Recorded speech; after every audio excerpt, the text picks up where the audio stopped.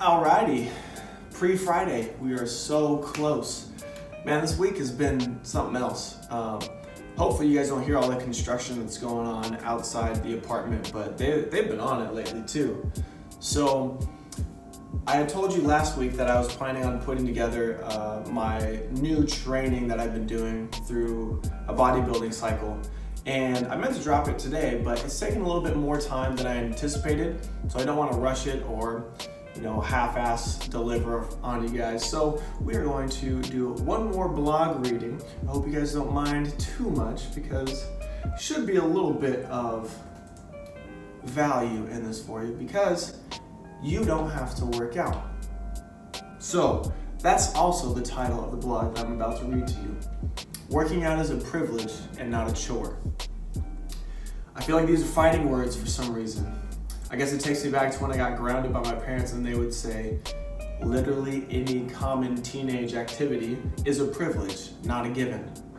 Well, damn it all. Turns out they were right about more than going to the drive-in after the football game with some friends.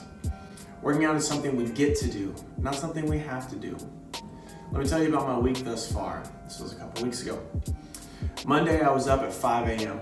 Ran around like a chicken with my head cut off trying to make an appointment, only to realize I stood someone up in my hurry.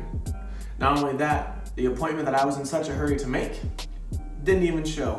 Man, karma worked so fast that day. I didn't get home till 10 p.m. that night, meaning I wasn't in bed till 11. Tuesday, I got up at 4.30 a.m., and in my sleep-deprived state, I thought my laptop might be thirsty. So I opened my water bottle put it in my backpack, drove 30 minutes to the gym, only to discover it had been sitting in the water the whole time. If you follow me on Instagram, you saw the whole debacle unfold. That night, I thought to myself, all right, get your ass in bed early, get some sleep. Boy, was I wrong. I couldn't go back to sleep until 3 a.m., and my first personal training session of the day was at 5.30. So why am I telling you all this? Because somewhere between pulling my dripping wet laptop out of my bag and staring myself down through bloodshot eyes at the witching hour, I thought, man, I have no idea how I'm gonna muster the energy to work out. That's when it hit me. I was being ungrateful.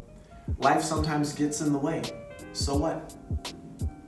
We get so caught up in what we're doing that it transforms from being able to do these things and having to do them.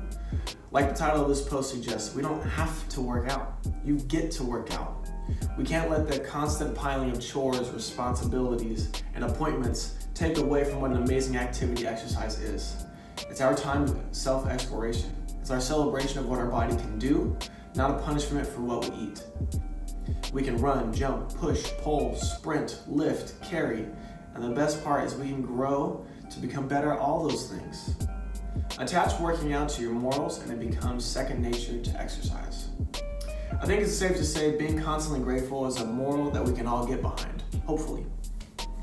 When we set out into the world with this at the forefront of our minds and frame exercise as something to be grateful for, working out suddenly becomes so much easier to do.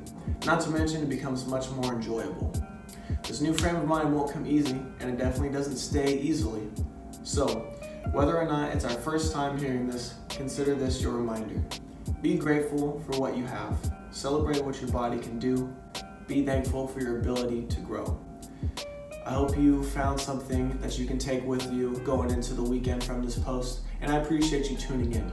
If you think someone else needs to hear these words, go ahead and send it to them or subscribe to the channel. Make sure you like, comment, all that good stuff. Um, if you have any other questions or you have requests on other topics to cover, let me know and I'll for sure do that. I will see you guys on the next one.